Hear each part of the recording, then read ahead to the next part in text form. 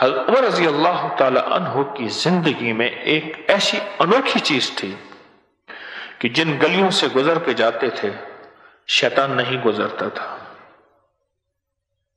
आज भी आप कर लें तजर्बा। उंगली से आपने दिल पे लफ्ज उमर लिख लें। ये उमर, इसकी इजाज़त भी दे रहा हूँ। सिर्फ़ तीन दफ़ा लिख लें ये उमर उमर। मीम एन एन जो है, सीने के ऊपर आए, मीम, उमर का, उमर। तीन दफ़ा लिख लें। उमर लिख लें।